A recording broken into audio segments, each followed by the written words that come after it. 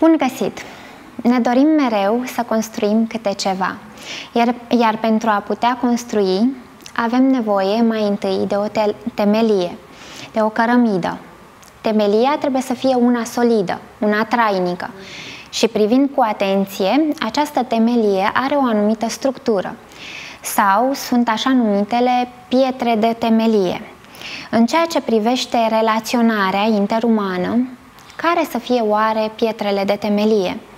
Toate ghidurile de maniere, de bune maniere și mai ales cele din lumea anglosaxonă, arată că nimic din ceea ce privește relațiile dintre oameni nu poate începe fără expresia te rog și nu se poate încheia fără cuvântul mulțumesc. Aceste cuvinte poate că vi se par banale, aceste cuvinte, totuși, sunt la îndemâna oricui, iar în acestea se regăsesc rădăcinile bunei cuvințe. Aspect bine cunoscut de către educatori și de către pedagogi de pretutindeni.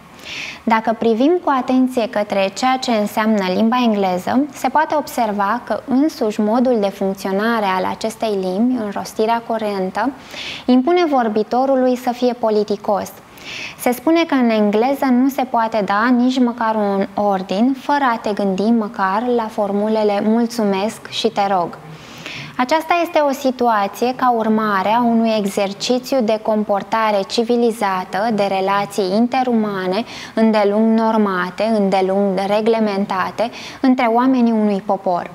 Iar acest popor este un popor de gentlemen.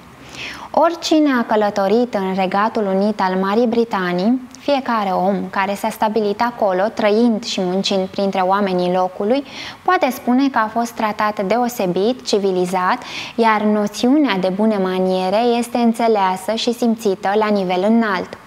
Dar oricât de mult ne-am dori, cuvintele nu sunt totul. Aceste cuvinte, văzute ca un mecanism de rotițe, au nevoie de ceva care să ungă și să faciliteze funcționarea acestui mecanism de rotițe.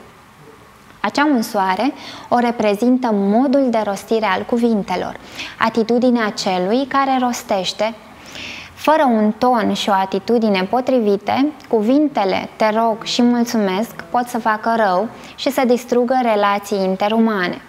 Putem spune că totul începe nespus de simplu, de la te rog și mulțumesc.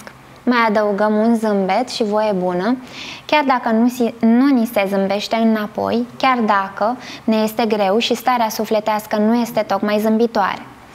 Până data viitoare, nu uitați că bunele maniere, bunătatea și zâmbetul sunt mereu la modă. La revedere!